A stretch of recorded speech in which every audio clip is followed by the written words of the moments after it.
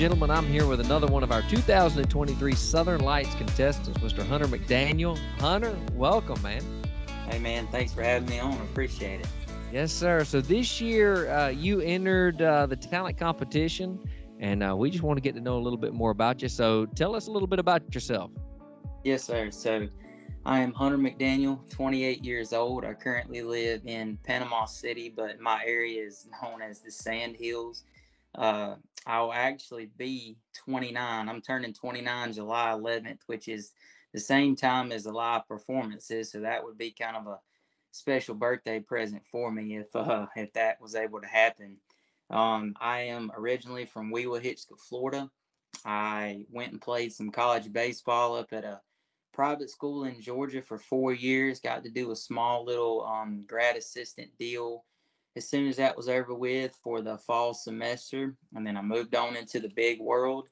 Started working with this company uh, called Penske Truck Leasing. You ever heard of it, Charlie? Ever oh, yeah. Heard of I uh, started working with them out of the Panama City branch. I uh, moved got promoted and moved and lived in the big city of Montgomery, Alabama for four, almost five years, and uh, met my wife back here in Florida. We got married, lived up there in Montgomery for a few years, and then uh, had the absolute miracle of our lives happen with uh, our son was born and such an amazing testimony we uh, there's a lot of people that are dealing with it now that I see, but we have one of those children who are given less than a 5% chance to live uh, and no quality of life. And he had brain surgery at one day old. He had an, uh, an encephalocele, had everything put put like it needed to be, and he is a walking miracle. And that led us back here to uh, Panama City, where we have built a home and I now work for the United States government out on the Navy base at the beach. And uh, I think it's time, you know, knocking on the door of 30. You know how Tim McGraw says your next 30 years. I'm almost finished my first. So I want to be able to accomplish something that's been on my heart and on my mind. And that's kind of chase music, see what I can do with it. There you go. So you, you want to, you want to be the next Tim McGraw, then? Is that what you're saying? No, sir. I want to be the first Hunter McDaniel. If I'm be honest with you, but if I if I can do anything like old Tim has, and just write some of the best songs, you know, be around just really really good writers and be around great performers to evolve me in a way. That's that's what I'd like to to mimic and accomplish from somebody like Tim. That was a good answer. Very good answer there. So, what got you started in music? Man, my mother sounds exactly like Tanya Tucker, and I'm not lying to you. If I have the ability to play a clip one day, I will. She grew up singing uh, in church and sang as I grew up, and I know that that's where I got the gift. But it was my grandparents, and when I say that, I'm talking from every single side. I am a music buff. Um, I know all kinds of genres, anything that you can think of. I have been playing all kinds of games and learning and singing my whole life. And uh, I was telling my wife today, I remember going to a Disney trip at eight years old.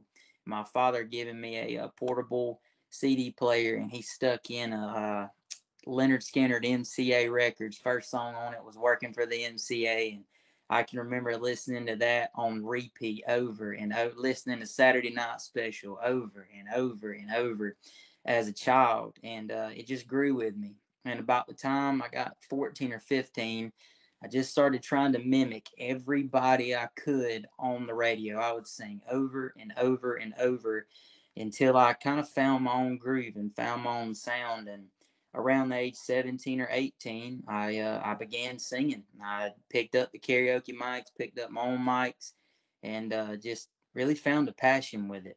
And that's kind of where I have led today, I've um introduced I was introduced to singing in church, which I have should have been a part of my whole life, man. That's something that is so special. For the past two years, I've been leading praise and worship at church, and it's really evolved me and given me an idea of what I want to do and who I want to be as an artist.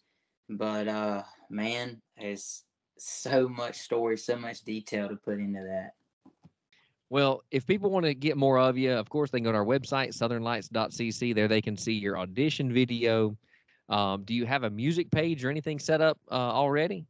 I do not. I have a lot of Snapchat followers that get a lot of videos from me. So there's some things that uh that I want to set up. Um, see what we can do. Well, there's a lot of opportunities. In fact, you know, um, down there at the Cove, uh, you know, they've opened it up for uh, all of the artists that want to go down there and and perform leading up to the live event. You know, they've got um, they got some dates set aside. So um, you guys run up there and and give it a shot and see how it works out, man. Well, you guys go check him out on our website, southernlights.cc. Uh, also on Facebook, uh, the Southern Lights, the search for star. There you'll be able to hear, uh, see him and all the other contestants. So y'all go check it out, like all your favorites, share and, and comment. And uh, man, Hunter, I appreciate you being with us today. Yes, sir. Thank you.